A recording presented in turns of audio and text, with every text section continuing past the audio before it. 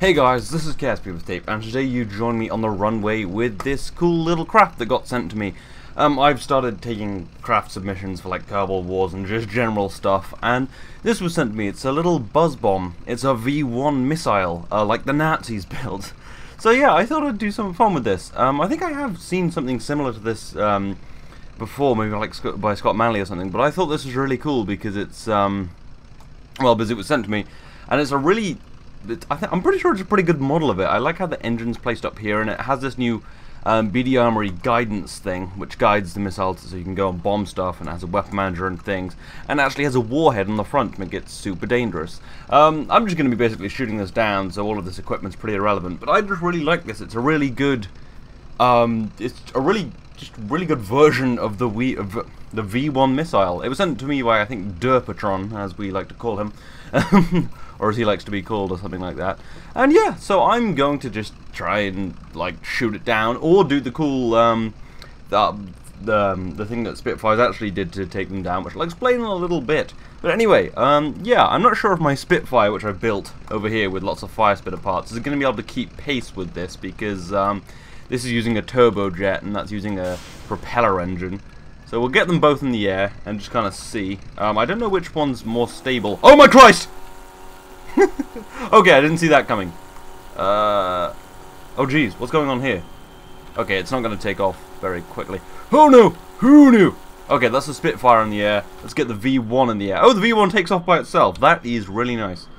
Um, oh, this will Okay, right. The Spitfire might definitely be able to keep pace with the uh, V1 then. Because um, this has been all tweak scaled down to be a proper size. Well, I think it will just keep gaining speed. Oh shit, I forgot the Spitfire's just left it going towards the ground. Yeah, so um, Derpatron has used many a part. He's used BD Armory, I think, tweak scale, um, and then I think adjustable landing gear or fire spitter. Yeah, it's fire spitter for all this stuff, um, which is pretty cool. I uh, oh shit, Jesus, I've really got to be better at this. Um, but yeah, the V1 was actually um, a real missile that the Nazis used to fire at Britain. Um, it was obviously before the V2, which was a real missile, but this is more of a plane, obviously. I guess it made it easier to do its thing. Um, okay, that's going. How fast is it going? Oh, really fast. Yeah, I'm going to throttle it down, or I'm just not going to be able to catch it, because my Spitfire tops out way slower than that. Um, I don't think I'm going to be able to freaking catch it now. Alright, I'm just going to have this going that way. Um, hopefully gain... Yeah, it looks like I am gaining on him.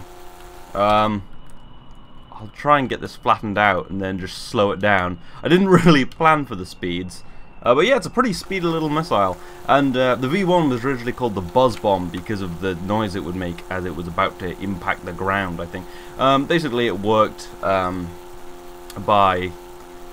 Uh, basically, they figured out the... Um, um, I think it just was pretty much a timer, a timed fuse um, so they figured out the distance and the speed uh, it would take to get to their desired location, and then it would shut off, dive at the ground, and explode because it carried a warhead.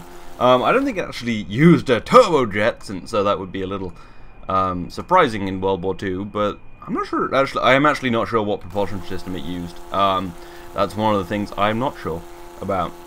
Um, but one of the interesting things they did to take it, uh, take down a V1 wasn't just shoot it with the guns, which I do have a few guns, if I can find them.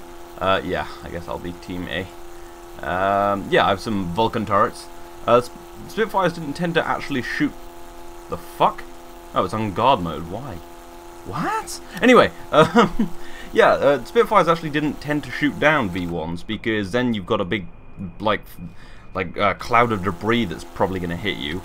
Um, they actually used to just, like, hit, well, knock their wings with their wings to make them turn away from the target. Because they were dumbfire missiles, basically. They're just basically fly in the right direction and then just try and hit the target.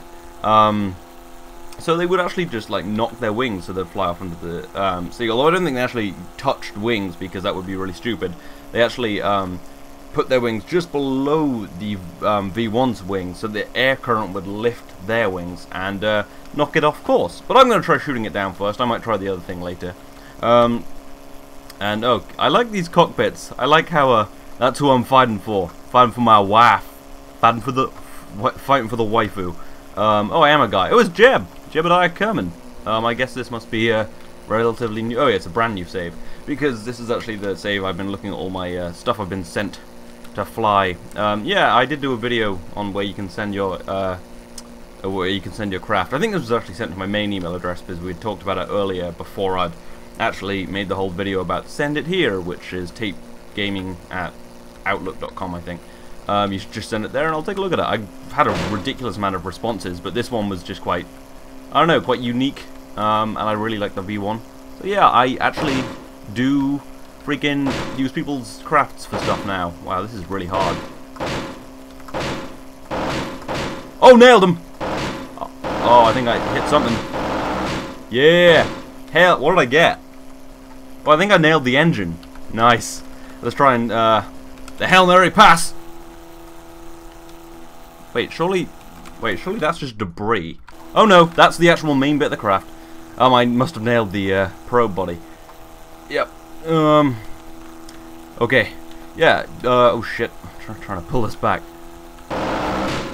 Incidentally, I think Spitfires only carried about 14 seconds of um, ammo, so they could... Oh shit, it's doing a loop! Oh my god, it almost hit me! That'd have been great if it just nailed me. There we go. Alright, um, I guess we'll revert to launch, maybe? Let's try that again. Uh, yeah, it's just quite a fun thing to do, shoot down things like this. I do this all the time with, like, big bombers. I think I've done, like, two videos on it before. Um, but yeah, the V1's quite an interesting, well, it's quite an interesting idea for a missile and for a thing to shoot down. Alright. Um, and it's really well built. I like how the guy built it. Uh, I think, was... Oh, shit, I keep forgetting that. Um, I just like quite like how it's um, how it just takes off by itself and it does its own thing. It actually does have a guidance system, far more sophisticated than the uh, one on the actual V1, but uh, you know, still pretty awesome. Anyway, we'll let that get up to speed. I'll just do some crazy loops with my uh, Spitfire, which is actually a pretty accurate representation since it has, um, well, not that accurate, but I meant uh, like the guns, um, the 20mm fixed cannons, actually as the uh, Spitfire has, and I think it actually can fire its guns for about 14 seconds, which is um, pretty accurate. Uh, well, pretty accurate to the actual Spitfire. Um, dun dun dun dun dun dun dun dun dun dun dun dun. I actually want to make a video. I want to. Well, we were thinking as uh, we were thinking about uh, follow-ups to um, collaborative warfare, and I said World War II, and um, I think Beardy Penguin's thinking more about like really cool space battles, and I was thinking World War II space battles. We make some uh, Spitfire space planes and have battles with them. How cool would that be? Um, although I think it's maybe a little premature to be thinking about sequels to um, Collaborative Warfare, given how long it takes to do anything. I reckon this is probably going on for a long time. But anyway, um, let's catch up with us now and go shoot it down some more because it's fun to shoot things down. Um, why won't you die? Yeah, you want to fire in short bursts with a Spitfire because, uh, uh, well, because you don't have a lot of ammo. Uh, this was incidentally made using almost entirely Fire Spitter parts. And these are actually biplane wings, but they look quite good, so I use them for the Spitfire. Um, and this is actually, well, it's not obviously not an amazing model. It's quite hard to actually build things perfectly in KSP, but I think it looks reasonably good. Like, if you saw that, you'd be like, yeah, that's a Spitfire. I also built a, a Messerschmitt for a different video I was going to do, which never really worked out, so yeah. Maybe I could turn the V1 against me on, like, guard mode, and it would, like, turn around and try and nuke me. Um, so yeah, we've got to stop this going back to Blighty and killing all our people in London. Um, because it's a pretty effective way of delivering bombs, actually, isn't it? Oh, Jesus Christ. Slow down. I've got to level up. I keep swiping across, and that's actually not very a great way of doing it. Ah, oh, Jesus, that was most of my ammo. that was the main problem with uh, doing dog. I was going to do a dogfight thing with a bunch, of, like a bunch of aircraft and a, a bunch of Spitfires and Messerschmitts, but they all fire off their ammo too quickly, so it didn't really work. Although I might revisit that, as I'm sure people will be asking me to do it now I've mentioned it. never tell people your plans. Oh, Jesus Christ. I'm not going to be able to take this down. I'm totally going to take this down. Shut up. You cannot defeat me, Derpatron. But yeah, as I said, you can send me more aircraft or spacecraft. I've had a few things for um, Kerbal Wars, which is always awesome. I do love... People seem to assume that um, I'm going to want crafts because I don't want to build stuff. I freaking love building stuff. That's like 80% of KSP for me. But I do like to have things built for me. Um, because it's quite good, and especially in Kerbal Wars where like they do take a long time to make those videos. Sometimes it can be really good to just have other people design it, and interesting because then I don't know how, the intricacies of the air, of the spacecraft, I guess.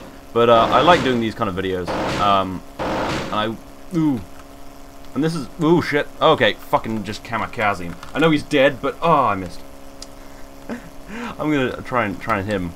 Try and try and kamikaze this. Um, I know I'm on. I know I'm the British. We weren't big on kamikaze uh, warfare in uh, World War Two, but you know, seemed to work. Pearl Harbor. Okay. Seems kind of foolish though, kamikaze. Like in general, surely it's just more effective to bring the plane back and reload it. I know it's like an honor thing, but it's dumb as fuck. Uh, oh my god. Although I guess a plane does make a pretty effective missile. Uh, okay, right, well, I'm probably not going to hit that. And what did I do damage? Oh, that's just a wheel. Oh yeah, I just stripped off the engine again. That usually seems to be what... I guess it's really easy to shoot off the engine because the engine's getting really hot anyway, so... Anyway, I want to try the other thing now. I want to try and knock its wings. Oh no! I mean, I reverted to spaceplane hangar, which isn't great. I wanted to revert to launch. But yeah, you can see how it's been built. This is actually a skid thing that's actually in um, Firespitter. Uh, these are scaled down parts. It's quite nice. These are even more scaled down. Uh, this is scaled up, I think. And that's just a normal size and then just standard wings. Um, I imagine it's just totally aerodynamically stable. Yeah, you can see it's just pretty much perfectly stable. Very well built, actually. Like I've got, I've, I've had a lot of aircraft which are really, uh, really interesting. But I noticed a lot of them actually use. Um, this does have a reaction wheel actually, but that's because it's autonomous, I guess. A lot of them do overuse reaction wheels, and you know, you can make stuff aerodynamically stable and save weight by not including reaction wheels. Just, uh, just saying. Um, and I, ooh, there's some sort of decoupler. Oh, cool. Oh, those are supposed to break. Oh no, they're not supposed to break off. That's just a. What? Are those supposed to break off? what? What? I guess maybe, um... Oh, yeah, they're supposed to break off after launch. Oh, that's cool. I realize he's scaled back some uh, decouplers. Oh, that's awesome. Uh, yeah, one of the things that... oh, sh why do I always do that? Yeah, one of the things that impresses me if you send me an aircraft is if it's just aerodynamically stable by itself. I mean, I like all the all oh shit. I like all the aircrafts I've been sent, even if they're like laden with reaction wheels, because as long as they work, that's cool. But making an aerodynamically stable aircraft is actually not that much of a challenge. Um, well, it's I guess it can be a challenge if you're going for aesthetics. Um, I'm gonna actually take the brakes off this time. Yeah, crazy days. Uh, but you know, it's just a matter of messing around with wings. And ooh, shit. Um, oh my god. And one of the good cheats if your uh, center of lift is too far back is just to turn your canards up a little bit. See you later, wheels. Oh look, they're still going. Oh, yeah. The one of the best cheats for um uh, for moving your center of lift is just to angle your like front canards up a bit, and that'll move it way more. It'll add a little bit of drag, but it'll um just create uh, like a upward motion which will make your aircraft more stable, which is always good. Dun dun dun dun dun dun dun! I was right next to it, that was perfect. I'm perfect. That's gonna go much faster than me though. I do like how it does kind of look like a missile as well. Oh shit. It's kind of like a cruise missile of some kind. This does, I think about 110 and then this does about 100, so it's not... Oh, should have built a faster Spitfire. Damn it! Okay, we'll throttle this down. Oh, it's doing 120. Jesus. My actually, my oh no, my Spitfire is definitely not keeping pace with it anymore. Uh, okay, right, that's that's doing its job. I'll just catch up with it. Full hover. Yeah, it's slowing down now. That's good. It's good. But yeah, the whole point of, I guess, tipping uh, the aircraft with your wings is it doesn't create a big cloud of debris to destroy your aircraft and kill you. Oh, well, this is going terribly.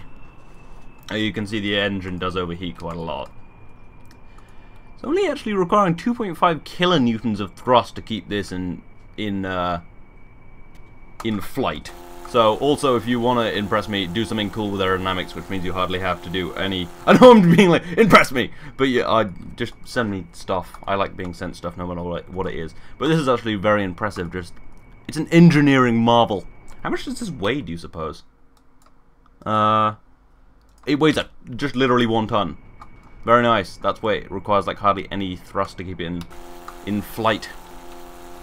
It's a skyrocket in flight. It's an afternoon delight.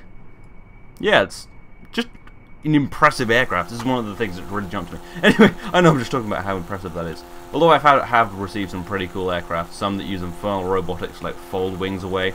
Build a transformer, then I'll show it. Yo, if someone builds me a transformer, that'd be great. Actually, then I would probably just have to use it in collaborative warfare, even though it's against the rules. Um, okay, we've got to get right behind it. Actually, it's probably best not to get right in its jet stream, but uh, we've got to get right up to it, and then uh, just just go alongside it. Yeah. Oh, you, there's actually a air intake on here. I know these aren't supposed to need uh, air to like burn, but uh, apparently it didn't really work without it. So I have actually cheated a little bit there. But yeah, a, this is a pretty simple aircraft. Easy to construct once you have fire spitter. Okay, throttling back a little more.